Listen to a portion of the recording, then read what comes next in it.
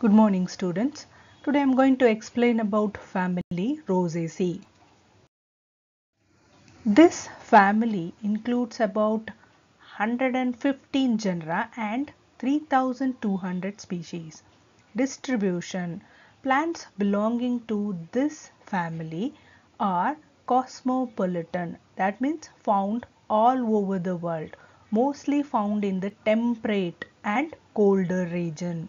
Vegetative character plant habit mostly trees, few shrubs and rarely herbs.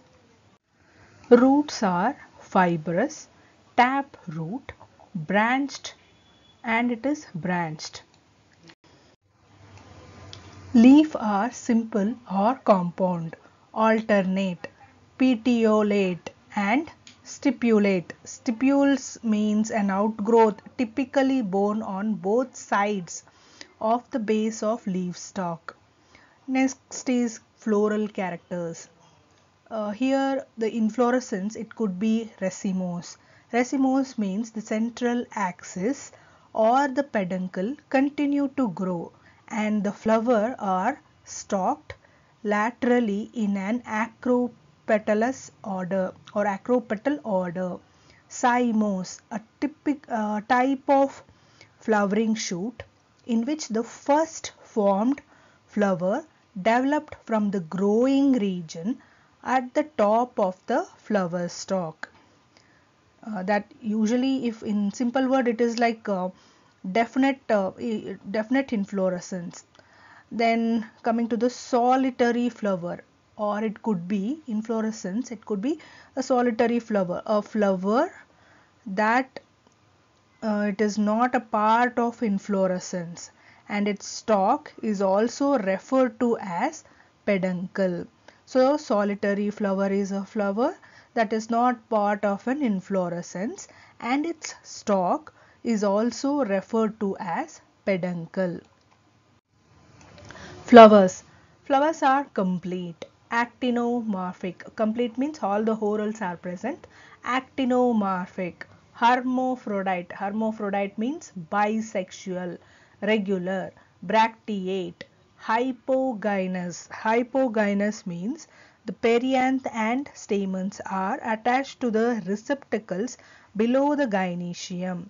Ovary is superior to the um, I mean ovary superior to these organs and the remaining floral organs arise from the below point of origin of carpels.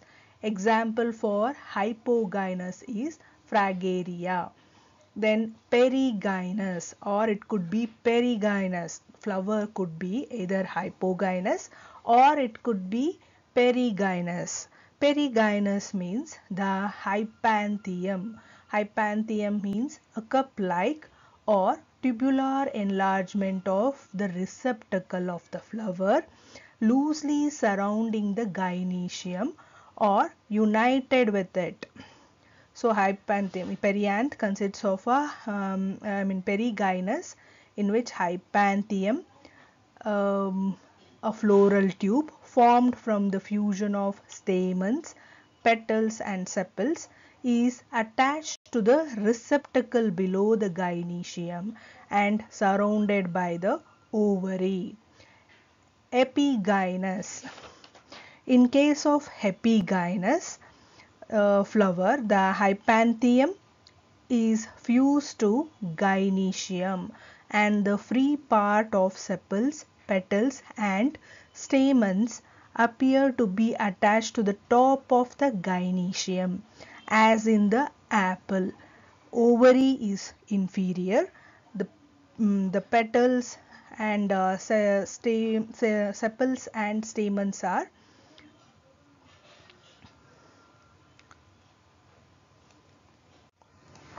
Calyx. Calyx consists of five sepals, gamosepalous and green in color. Coming to the corolla, if you take an example of rose, it consists of either five or numerous petals. Polypetalous, that means they are not fused, petals are not fused and it is colored, brightly colored. In case of androecium, stamens are 5 or numerous and length of the stamens are unequal. Then um, and it is free. Gynoecium, it could be one or many. Syncarpous, bi or multilocular axial placentation. Fruit, pome or drupe or achene. As I said, fruit could be pome, that means they have a core of several seeds and uh, surrounded by a tough membrane. The membrane is encased in an edible layer of flesh. Example is apple. See in apple we will see uh, in the core there will be several seeds surrounded by a tough membrane. The membrane is encased in a edible layer of flesh. Outer layer, edible layer will be there. No, that's why uh, example for pome is apple. Then drupe. Drupe is prunes. Example for drupe is prunes. Here um, it is an indehiscent fruit in which an outer fleshy part surround a single shell of hardest, uh, I mean hardened endocarp with seeds inside. These fruits usually develop from single uh, carpel and mostly from uh, mostly form flowers with superior ovaries. So, um, example for drupe is prunes. Then achenes or follicles. Uh, example is strawberry.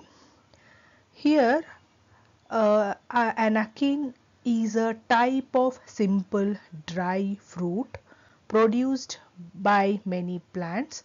They are monocarpellate and indehiscent. Seeds, uh, coming to the seeds are exalbuminous, means seeds which store food material in their cotyledon are called non-endospermic or exalbuminous seeds with small embryo. Then pollination is through insects. Here you can see the insect no. So since these flowers are attractive, just imagine um, rose and uh, they are quite attractive and even the smell is also so pleasant. Obviously um, pollination is through insects. Economic importance. Some of the plants of Rosaceae family is used as a source of food. Example is Pyrus communis, Prunus persica. And some plants of Rosaceae family are also used in medicine. Example is the petals of Rosa damascena is used for uh, for the formation of uh, I mean it is used in the preparation of gulkand. The seeds of Prunus amygdalus is used as tonic. Ornamentals. Uh, examples for ornamental plants are uh, ornamental plants which comes under Rosaceae family are Rosa indica and Rosa damascena. Industrial use Oils of roses obtained from the petals of Rosa damascena which is used in perfumery and uh, bark of Quillaja saponaria is used in the preparing is used in preparing shampoos. Now just to sum up salient features of Rosaceae family. First is uh, the shrub with prickles. Leaves are simple or compound. If it is compound, it is pinnately compound leaves. That means a leaf which is divided into smaller leaflet. Those leaflets arranged on either sides of the leaves central axis, either side of the leaves central stalk that means rachis or the axis. Alternate, stipulate. Flowers are actinomorphic. Very rarely we can see zygomorphic flowers also. Hypo, peri or epigynous. Calyx gamosepalous mm, that means fused sepals 5 in number. Sep petals are 5 or more or indefinite in case of rose and uh, usually petals are polypetalous. Stamens indefinite and unequal in length. Carpels one or many.